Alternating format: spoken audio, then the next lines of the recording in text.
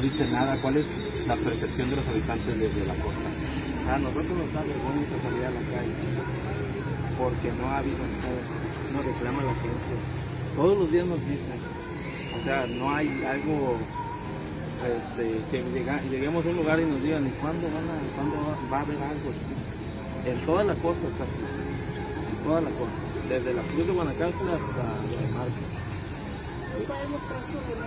¿Puedes Renuncia voluntaria como jefe de playas limpias. ¿Cuál es tu nombre? Es Ángel Cadena. No eres el único, nos regalan también sus nombres y los cargos que ostentaban, por favor. Claro que sí, mi nombre es Eden Karina. Eh, hasta hace unos minutitos me ausentaba como la directora del registro civil del municipio de Bahía de Banderas. Mi renuncia es en torno a que se me ha estado de alguna manera eh, atrasando todas las, todas las requisiciones. Por ejemplo, tengo una requisición desde el mes de marzo donde yo solicitaba una banda ancha de internet para poder irme a la sierra con el civil móvil.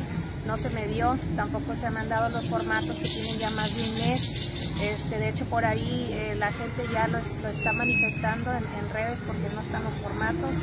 Eh, de alguna manera se me han puesto trabas para no poder cumplir con mi trabajo. Entonces, no es sano ni saludable. Además de que mi pueblo, que es San Pancho, tampoco se le dio el apoyo que, se, le prometió y que le prometimos. Además, ese es el tema de por qué estamos hoy todos. Todos somos de la costa, entonces eh, hoy nos, solidarizamos con toda la gente. Este, campaña, Rita dijo que iba a apoyar a las personas de las casas, del fraude de las casas en San Pancho, y no lo ha cumplido, no lo hizo. Entonces, eh, han sido cosas que no se han cumplido. No podemos tapar el sol con un dedo, tenemos que ser claros. Y si hoy tenemos que decirlo, pues lo decimos, no, no hay ningún problema. ¿Platicó usted o ha tenido alguna conversación con la alcaldesa en los últimos días, las últimas semanas?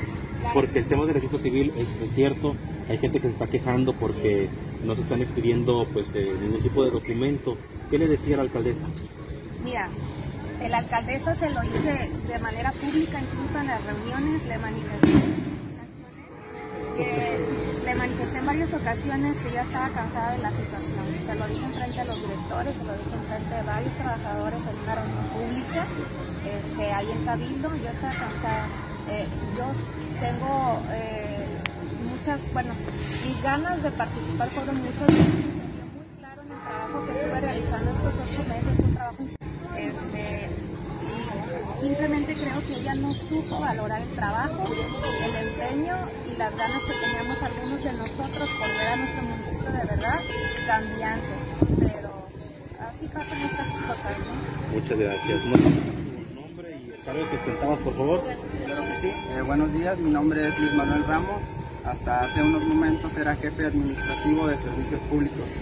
Bueno, mi renuncia principalmente es porque pues, ya estoy cansado de tanta burocracia interna que se lleva eh, para simplemente eh, que es de las más operativas y de las más grandes y pues simplemente para poder conseguir material para que puedan salir adelante los muchachos a trabajar era muy difícil, era andar atrás de prácticamente hablándoles a compras a cada rato para poder subsanar las actividades, aparte de que pues el proceso era muy pesado.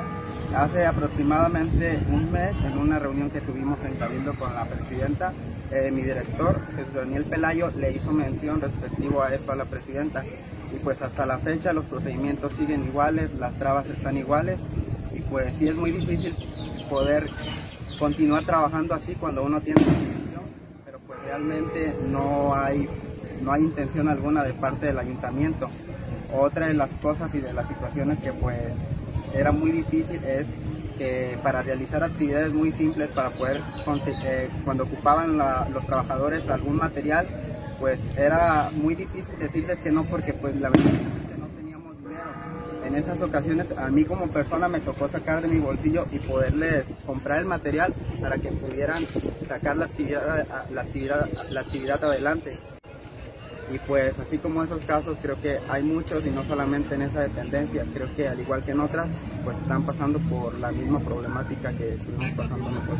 Hubo hostigamiento en el caso de, de recordar que el director es cuñado de la presidenta municipal. eh, es Daniel Pelayo, si mal no recuerdo. Es correcto.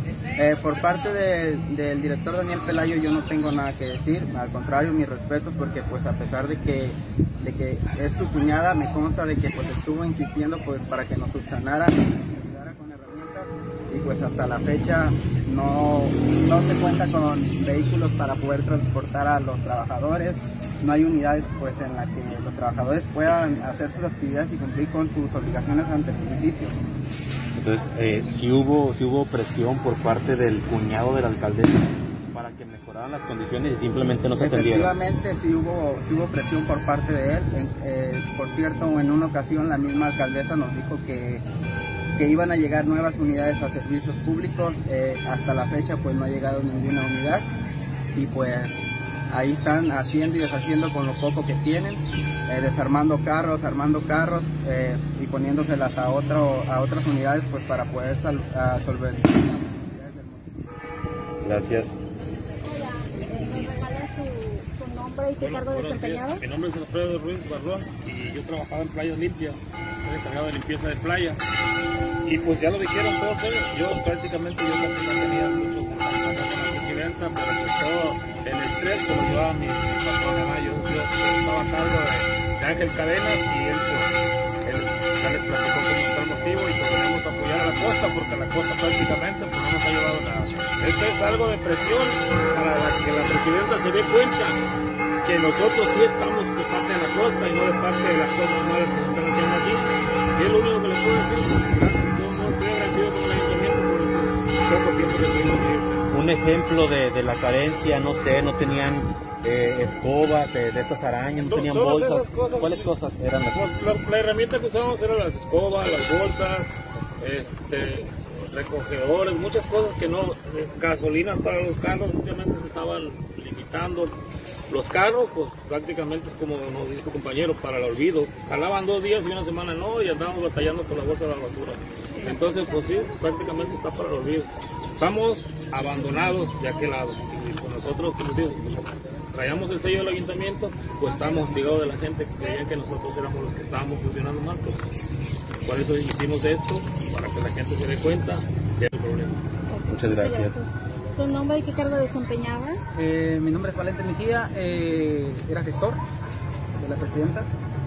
Este, yo vivo igual en Sayulita, pues casi todos mis amigos ya, compañeros, ya dijeron lo mismo, puedo decir yo, pero este, yo trabajaba de la mano con la delegada de Sayulita, yo trabajé con ella, anduvimos trabajando, yo como gestor y como delegada. Todo lo que has hecho en Sayulita, lo que es pintar la plaza, barrer la plaza, poner plantas, mantener las áreas verdes, todo, se ha hecho con donaciones del mismo pueblo, porque del municipio no, ha- no ha habido nada, la verdad, soy sincero. Este, se han reparado algunas calles con donativos de las mismas personas de los negocios. Todo lo que ha hecho en Sayulita se ha hecho con donaciones de- pueblo.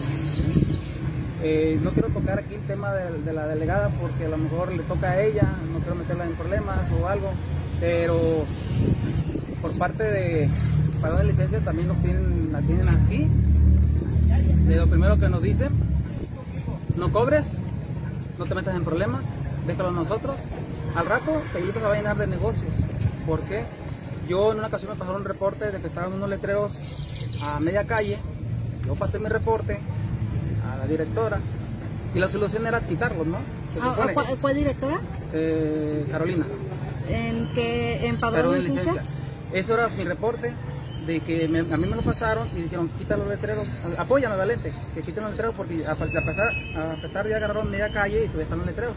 Sí fue, fue, él los recogió, se los trajeron, pero vino la persona, pagó su multa y todavía pagó su derecho de, de- de poner los letreros. Entonces ahí no salimos de, de ningún, de ningún apuro. El que se benefició fue el municipio, porque él cobró y a los afectados siguió igual los letreros, o sea que no cambió nada. Los letreros siguieron ahí. Eso es lo que a mí me preocupa de Sayolita. Que ellos den permiso y permiso a personas que vayan a vender a Sayolita, porque en Sayolita todo el mundo quiere vender.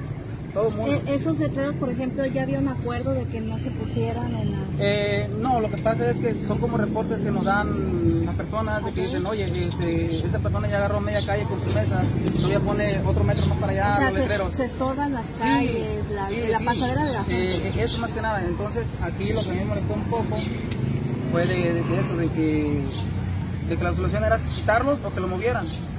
Pero la solución que buscaban ellos aquí en el municipio es de cobrar y, y para tenerlos ahí. Entonces yo como gestor, yo quedo mal, quedo mal porque esa persona a mí me, me contactó y me dijo, Valente, muchas gracias, ya lo quitaron, ya se lo llevaron. Pero resulta que al día siguiente los traen y los ponen donde mismo. Entonces ya me dicen, Valente, ¿qué pasó? ¿Cómo estamos? Entonces, ¿qué estamos jugando? En por eso y otras cosas estás presentando Sí.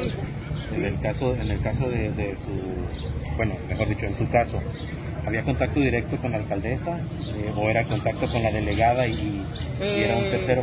Por- se, se lo pregunto porque ahorita antes de la transmisión decía eh, que en los ocho meses na- nada más puso 20 focos, podó un árbol, nada de obra pública, nada de, de apoyos para Sayulita. Eh, platícanos de de ese tema, por favor. Pues lo que nos apoyaban era como alumbrado público, eh, el que viene siendo el inspector de, medio ambiente, que fue el que nos apoyó para quitar el, árbol. Entonces, este, pues es lo único. El, el- yo quería le mandar mensajes a la presidenta, que queríamos platicar con ella. Antes de renunciar, yo quería platicar con ella. Y dos veces me mandó con el contador. O cuando yo no tenía nada que ver con el contador, bueno, sí tenía porque era el jefe de nosotros supuestamente. Pero la vez que, las dos veces que fui yo, yo no lo encontré. Yo con la secretaria le dejé dicho. Entonces yo le decía, bueno, o sea, pues me recibe mejor si no fuera nada en el municipio la presidenta, ¿no? Porque ella recibe a, a todo el mundo, se supone. Entonces yo quería que ella me recibiera porque yo quería platicar con ella, porque son cosas personales que yo tenía con ella, que en su momento me decía que fuera a platicar con otra persona, y pero a mí no era la de ahí, porque yo quería platicar con, con ella. Entonces, ¿Quién falta? ¿Nos puedes mostrar tu, nada más tu nombre? tu nombre y el cargo que Tu nombre y el desempeñabas. cargo. Mi nombre es Dorisio Fren López y trabajaba en el área auxiliar en Limpias. Muchas gracias. Y de la muchacha que estaba. Nada más tu nombre y en dónde trabajabas. cargo que ostentaba, por favor. Ok. Mi nombre es Keliana de López Garciola, pues tenía el puesto de cajera en Adscrito a Oromapas. Gracias. Pues ahí está. ¿Quieres decir algo más?